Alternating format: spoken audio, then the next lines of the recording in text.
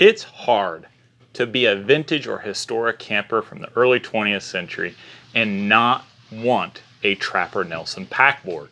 And uh, I got one here on me right now. This is one that I made. I don't have an original. But, uh, you know, during my research and things, it seems like that after Trapper Nelson patented his, which was in 1922, that's when the official patent came out, but it took him a while for the business to take off. So really we're talking about mid 1920s and even into the 1930s before the Trapper Nelson pack really exploded in popularity in outdoor adventure culture, okay?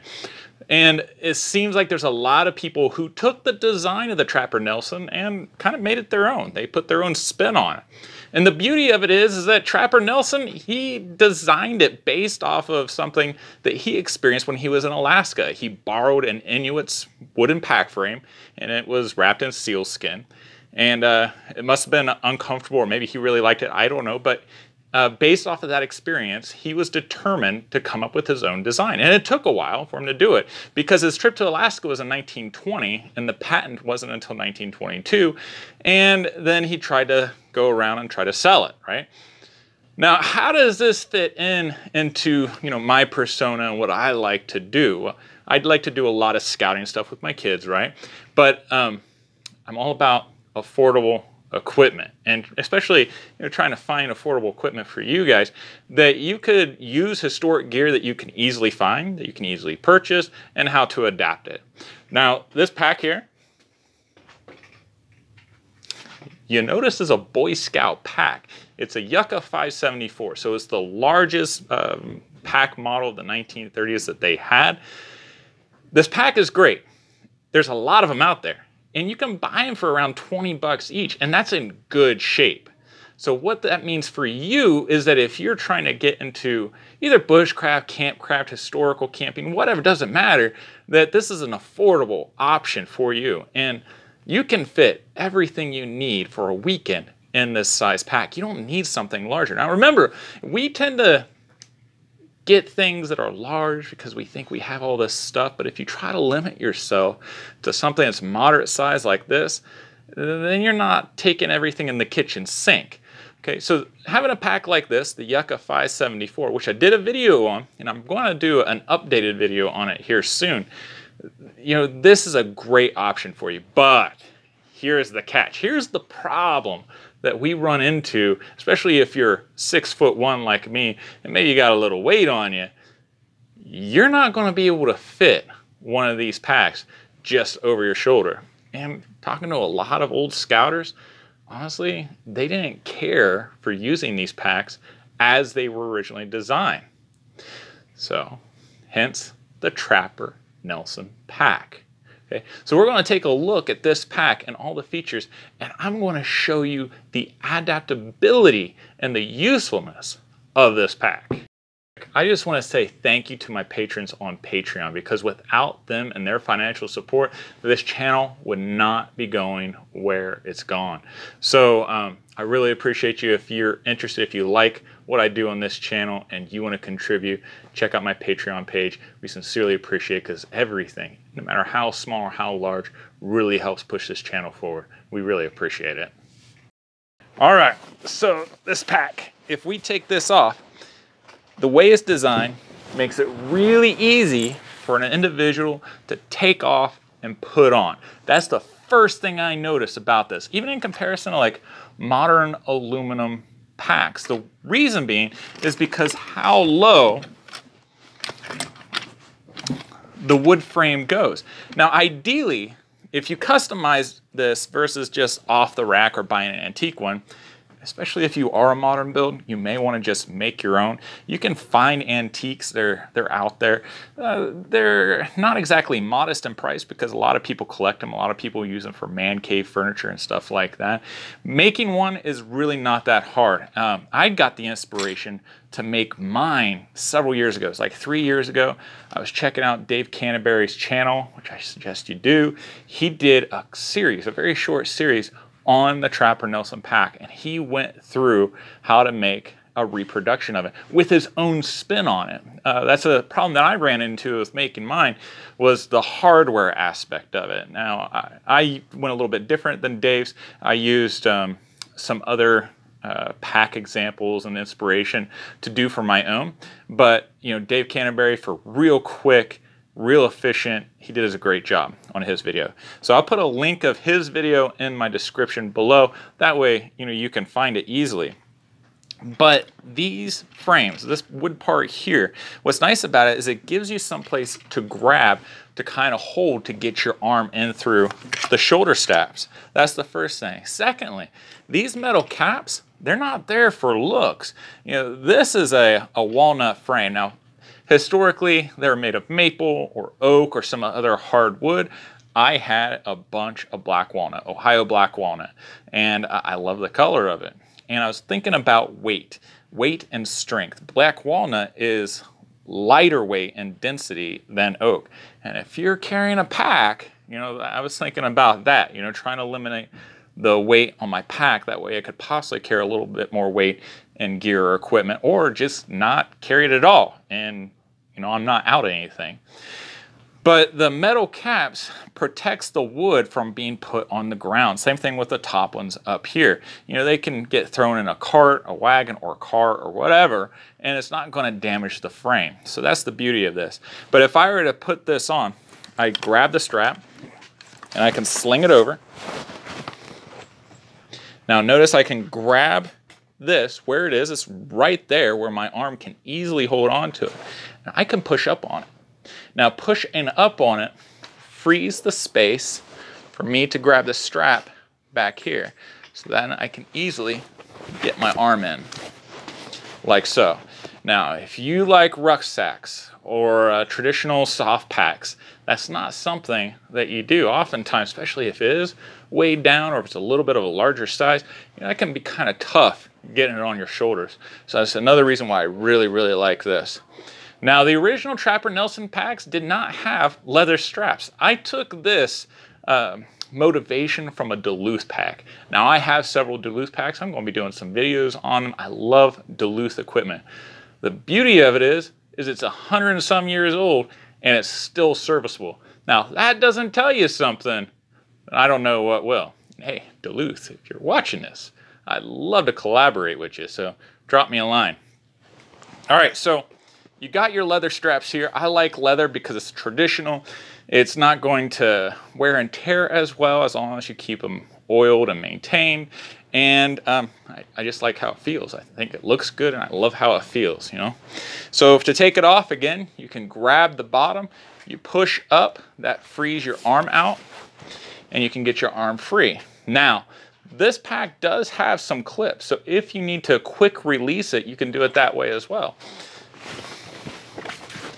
Now Dave Canterbury's, his solution was using the, the rope loops over the wooden ends, which I think is really good. But um, again, I went with more of a traditional historic pack idea. So I can lift up here and I can find my clip. Pull down my D-ring. And since I have a swivel, it moves just a little bit. It's not pinching my side. I pinch on that clip right there and I got my quick release. Very much like the um, the boy traditional Boy Scout packs, but even during the American Civil War, their knapsacks, they had one side that had a clip. That way you could quick release it. And if you want to get back on, all you do is lift up and you clip it back. Now I put it on both sides, but honestly you don't really need it because push up, get your arm out. I suppose if after a long day or maybe you're wearing a thicker coat or something, you can have uh, a friend, if nothing else, help you and unclip it and it comes off a lot easier. All right.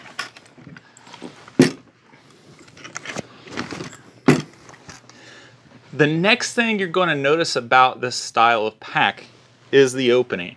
Now, oftentimes the opening did not have a leather lining. Now, maybe in a little bit of experience with leather and the looks, and I wanted something that was going to last me a long time. You know, I figure you put in the work once, you don't have to put it in again as long as you treat it well and you maintain it. So I went ahead and put that lining in so these straps, wear and tear and everything, won't eat away at this canvas. Now this canvas is used for a couple reasons. The primary reason is for comfort because this is going to um, allow your shoulders and other areas to kind of conform but still be still support the pack. The second reason is for ventilation. If you ever hiked out in the summer and you got just a heavy loaded backpack on, you know, there's not that air that's going between your back and the pack. So it's going to get really hot. You take off your pack, the next thing you know, you've got like this big wet spot on the back from your your sweat. So this was actually a pretty ingenious and advanced idea. Um, metal frame backpacks of the later 20th century did the same thing. They used various types of webbing or various types of straps or whatever uh, to keep it off of your back so you have that ventilation. Now, if you're not sweating, if you're more comfortable, you're going to be able to go a little bit further. So that's a brilliant idea as well. All right. So how did I connect this to a Yucca 574? If you've liked this video, if you found it useful or interesting, will you please do me a favor and click like? That way, you're helping other people out find this video because that's how YouTube works. If people like it, then it gets out to others. And if you want to help out the next person, go ahead and click like. We really appreciate it. As you can see, you have the D-rings that's over these eye bolts. And you also have this brass hook. Now the original hook was made out of metal. At my big box store I couldn't find the metal wire, so I grabbed some brass. So if you leave in the, the salty areas, either on the Pacific coast or the Atlantic coast, or down in Florida or something, where you have salt air and you're doing a lot of hiking, maybe brass is where you want to go anyways. You know, it doesn't rust and it's uh, it's just as serviceable. So you take out this wire here, and that's going to free these D-rings. So now you can remove the pack, and you can attach other things to this. So maybe you want to get some firewood. You can do that this way. Again, this isn't a video on the Yucca pack, but as you can see, I have this pack, I have these straps here, so if I really wanted to or needed to, I could still use this, separate from the pack board, and use the both individually in some other way. So that's pretty handy. We're going to take the pack off. So now you can see the options and how it's laid out. Now these eye bolts are just cut through slits here, like the traditional. And these are grommets, not eyelets. If you decide to make your own, make sure that they're grommets, not eyelets, because grommets are able to withstand more tension than the eyelets. Eyelets will pull out. Uh, trust me, because originally I got eyelets, and I made the mistake and I had to redo it. So what this does is you can take this fabric off and you can clean it, you can maintain it or something, uh, use it for something else. But what I love, love, love about this setup is now I can put something on here. Maybe it's a tent, maybe it's even a sleeping bag, right? So this, this is good. I could comfortably hike in this in miles. And a lot of that has to do with this design of the Trapper Nelson pack, okay? Because it's beautiful. I have my shoulder blades are padded because the wood is not where my shoulder blades is and instead it's that cloth where it is. It also is resting right above my hip. So there's a, a piece of wood right here. This is the cross piece. It's right above my hips. So that's nice where it, uh, it kind of leans back. Uh, the pack itself isn't going to cut into me. And the third piece is right here. It's right below my shoulder blades. So I have one right above my shoulder blades, I have one right below my shoulder blades, and then I have one above my hip. And that makes this pack work wonderfully. And of course, I have the wide straps. Now these wide straps distributes the weight versus having something narrow. Now, if you really wanted to, you could fancy these straps up. You could put some wool on there on the back side so it gives it a little more padding if you need to. You could even put some batting or something else and put another piece of leather over top of it or even cloth. You, know, you, you do you. You could even do a chest strap if you really wanted to. If you want to get really, really fancy, nice thing about these D-rings on here, you could actually create a hip belt to, again, another way of trying to distribute the weight. I love it. I love all that you can do with the Trapper Nelson pack, and I can't wait to experiment more with it, and I'll keep you updated with uh, all the different ways I figure out how to use this thing.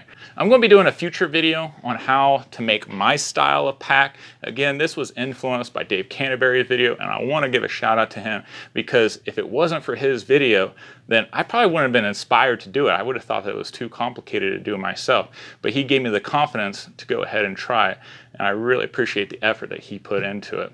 If you're interested in more of the history, the specific detailed history about the Trapper Nelson pack, my buddy Sarge Vining, he did a video on that. His link in the video will be in the description as well. I strongly urge that you check that one out as well. So let me know what you guys think about the bag. You know, how would you pack it? Do you have any experience with the Trapper Nelson pack? If you do, do you like it? Do you not like it? If you don't like it, tell me what you don't like about it because I'd love to, to hear about it and learn from it. And if you've got experiences that would help others with their Trapper Nelson pack, then please share it below because this community is awesome. I love how this channel interacts with each other and I appreciate all of you guys, your feedback, your support, and everything else like that. Now, if you liked it, make sure to click like. You want to make sure to subscribe because we got more videos coming out all about awesome historical campcraft stuff. And there's a lot of big things coming out this year and you don't want to miss it. So hit that notification button.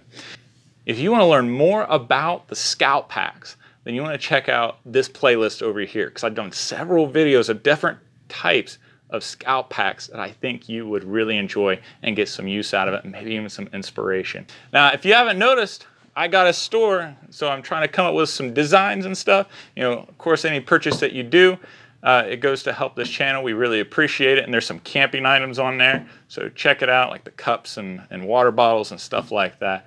You know, I, I hope you guys have a wonderful week. Give a kiss out to your loved ones. And I'll see you guys next time. Take care.